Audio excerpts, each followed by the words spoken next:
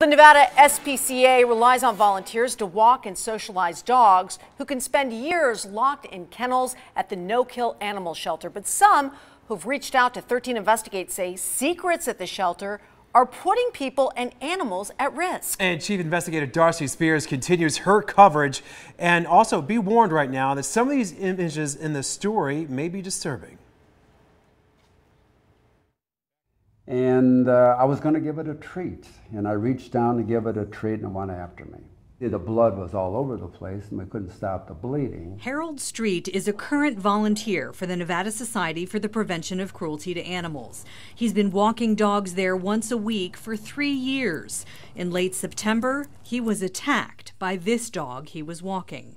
I had 10 stitches here, uh, two stitches there. My thumb, you can see, is just healing now. It's growing out. The thumb was half cut off. I can tell you her injuries are horrendous. Our first story detailed the injuries volunteer Joanne Phillips endured by another NSPCA dog. Just like the dog that attacked her in the spring, the one that attacked Harold in the fall had a history of biting.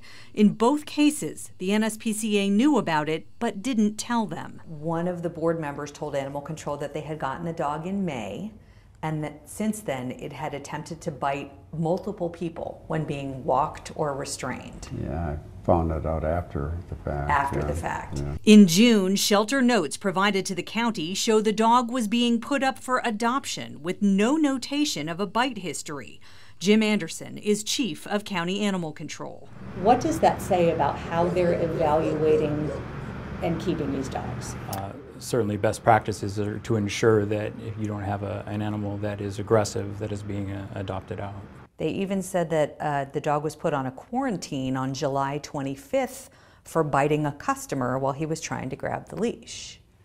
All of this happened yeah, long before you got yeah, attacked. Yeah, it was never brought to my attention. Animal control took the dog and it was euthanized. Yeah, they should have said something. The dog never should have been out. NSPCA President Kathy Jung no showed for our scheduled interview. Since then, we spoke off camera, and she says there was a separate card on Haku's kennel noting he was treat aggressive, but we've seen no proof of that, and it's not documented in animal control's records from the bite investigation.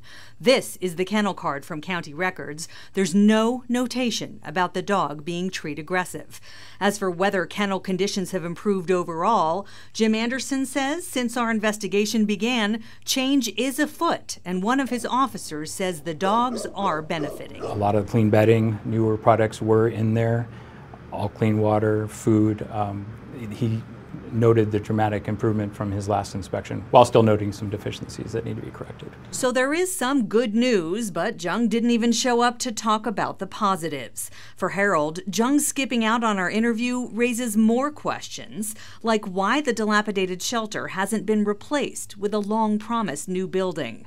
They told us they've got all the money they need to build it. Well, they tell a different story to us, you know. With his bite wound still healing, he wants to continue helping the animals, but believes he'll be blackballed for speaking out. You think that just because you yeah. share legitimate concerns, they're going to tell you thanks but no thanks. Don't come around. Yeah. What does that say?